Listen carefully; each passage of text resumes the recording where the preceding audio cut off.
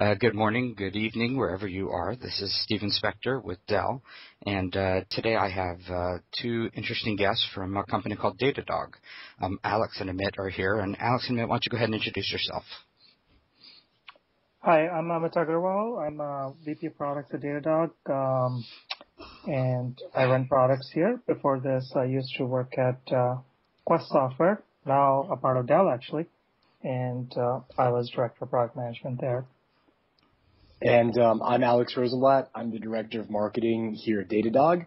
Uh, before Datadog, I was actually the Product Marketing Manager for virtualization and cloud at Dell.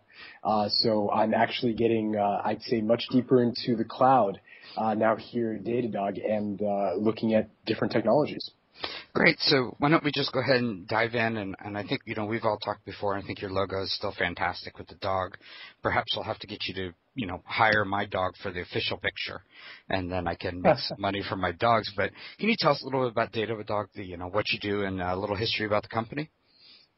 Yeah. Let me let me jump right into it. Um, so let me give you the backstory first on, on how the company got started, and uh, it might be interesting to your listeners.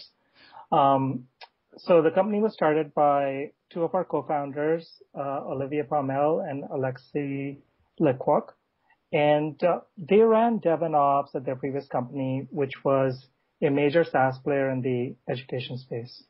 So, you know, in, in running their teams, one of the things that they found was was their their teams, namely Dev and Ops, were always at odds with at each other with each other. They were finger pointing uh, whenever there was a problem with conflicting data and metrics because you know different uh, members of the dev and ops teams use different tools to monitor the same systems in different ways.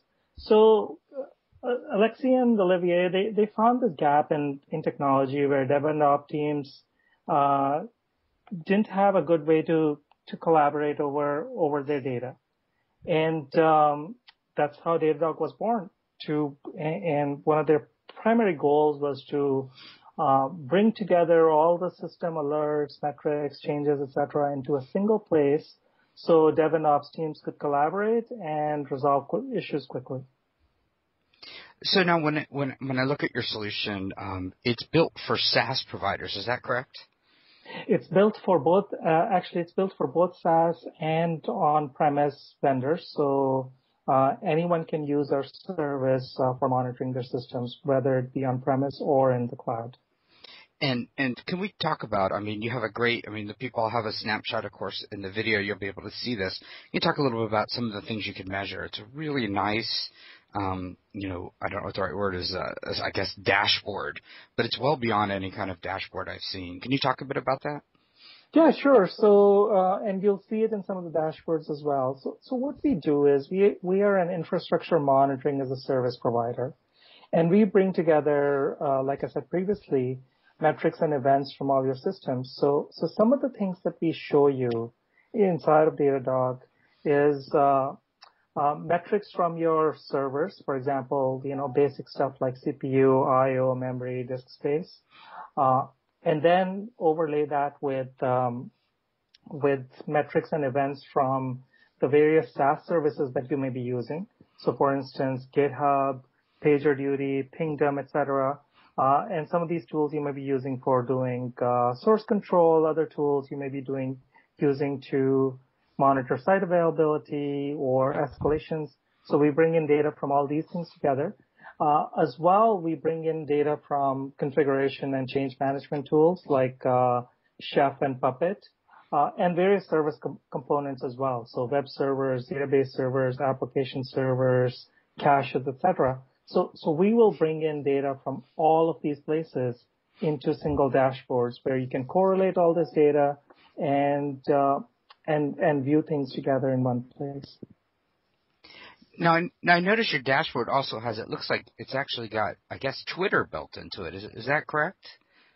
Yeah, you could get so so the idea for idea for for data, for Datadog is to bring in uh, both system events as well as um, as well as uh, alerts and uh, metrics that are from from various systems.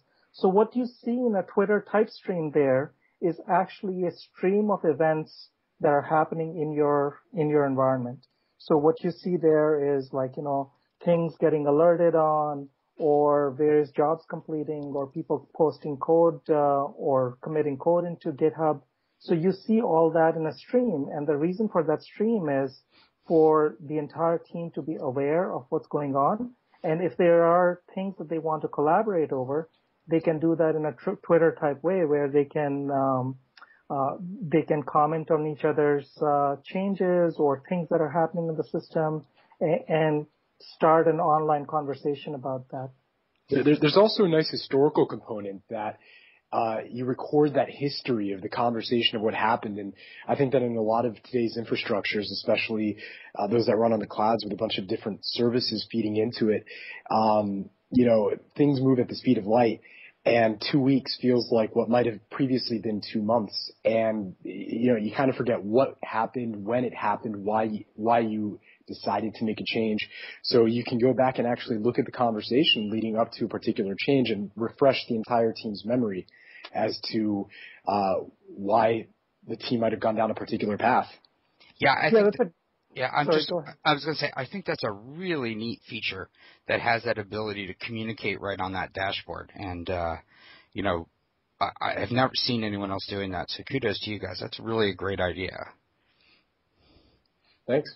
So it just, you know, real quick when it comes to pricing, the way it looks like here is that I can actually just go out to your site, download it, and start using it and try it out and then if I like it as I as I use it more and more, then I start paying a, a monthly fee based on how many hosts I'm doing. Is is that the correct way to look at it? That's correct. So you you pay a monthly fee based on the number of hosts you're using, and we are completely free up to five hosts. So if you are just running a home-based project or a, or a little side project, uh, you can download and install our agent uh, in your environments and get going uh, right away without paying anything. Well, that's great. Did did you gentlemen have anything else you else you'd like to add? I, I um you know, I'm certainly looking forward to getting this uh, recording out, and uh, hopefully, people that are in the back end working on these things will take a look at your product. It is really unique, and uh, it's good to see people doing something totally different in the space. And uh, I, I like finding companies like yours that do that. Yeah, I guess the one thing I, I'd like to bring up is um, just the long list of integrations. I, I think that um, Amit uh, really put forward the point of being able to get all that data into one spot and correlate it. And the nice thing is um, the the download process is, is really quite quick. You just sign up, you pick the different applications or databases or I, I, guess uh, cloud service providers that you use that we have integrations into, and after uh, setting up a couple of agents in just a, in just minutes, you've got all that data in one place. It really is very fast, and there, there's quick time to value.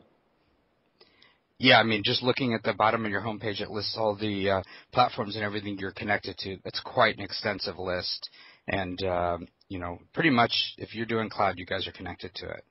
Well, I appreciate um, both of you taking the time today to talk about it. Um, I encourage all my listeners to go over to datadog.com and uh, check it out, and you know, why not download it, put it on your system, and see what happens. I think you'll be uh, quite pleasantly surprised. And I know that uh, you guys are sponsoring all these DevOps days happening all over the country. And uh, for those of you listening, um, pre-April, 30th of 2013. Um, Datadog will be down there um, here in Austin talking about DevOps, and I'll be there myself, so I'll make sure to get a uh, in-person interview and maybe a, a demo that we can add to this video as well while we're there. But thanks again, guys. I appreciate it. Thanks. Thank you, Stephen.